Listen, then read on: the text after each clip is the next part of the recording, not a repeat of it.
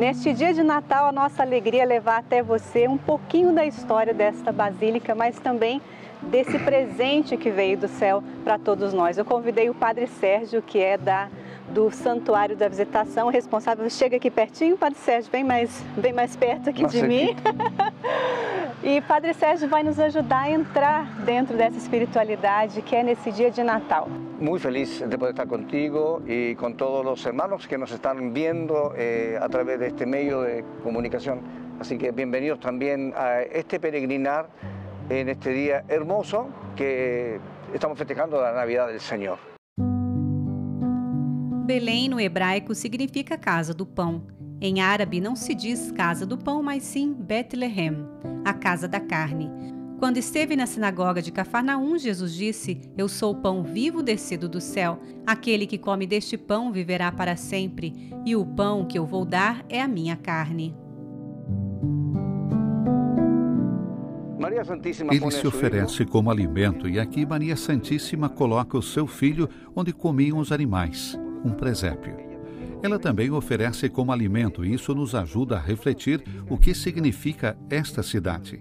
Belém é o lugar do alimento da vida eterna, porque aqui nasce o Verbo encarnado em Nazaré.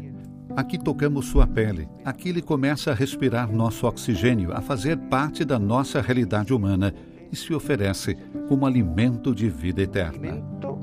De vida eterna. Há dois mil anos, aqui era a entrada de Belém.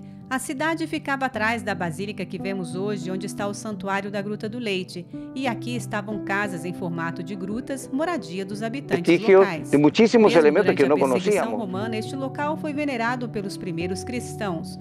O imperador Adriano, para eliminar a história do nascimento do menino Deus, cobriu o lugar do nascimento, por volta do ano 134. Adriano cometeu um erro Adriano cometeu um erro ou nos ajudou? Quando ele quis cobrir a gruta do nascimento, acabou permitindo a conservação da memória.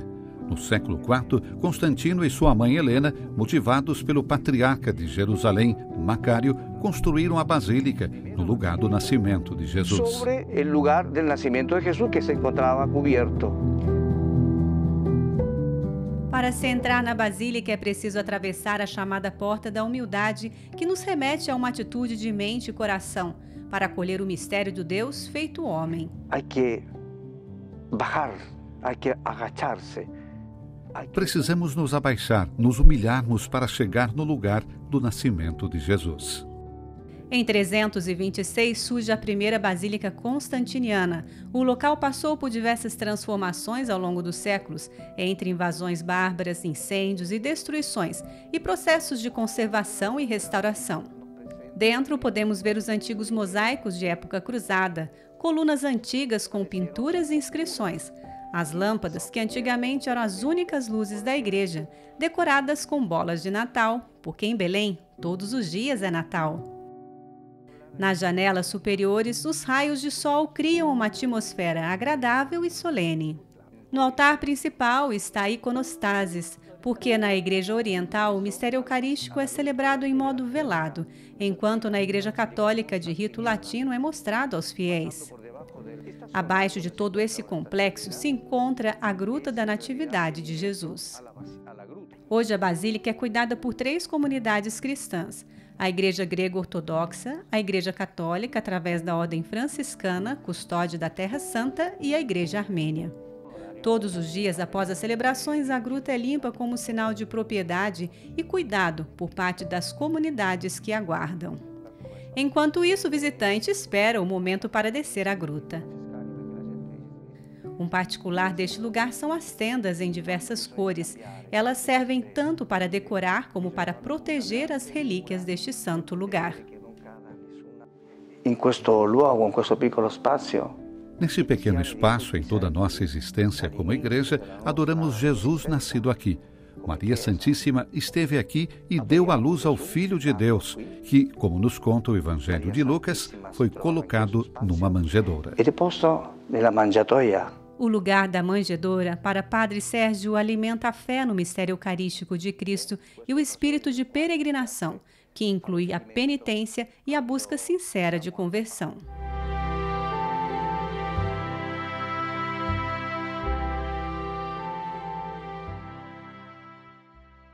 Ao contemplar esse acontecimento, podemos pensar o que significa celebrar o Natal em meio a tantas guerras pelo mundo, em particular na Terra Santa. No tempo de Jesus aconteciam coisas atrozes e bárbaras, e mesmo assim, ele veio para trazer esperança. De fato, o Senhor nasceu aqui, e os anjos cantaram nesta noite. Glória a Deus nos altos céus e paz na terra aos homens que Ele ama.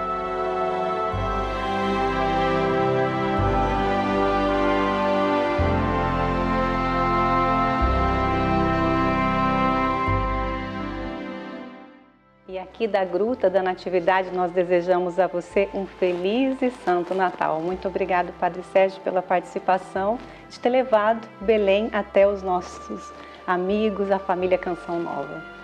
Muy feliz de haber compartido contigo, con todos ustedes también esta experiencia de peregrinación aquí a Belén en estos momentos tan especiales que estamos viviendo. Así que pues que el Señor nos dé felices Navidades siempre a todos.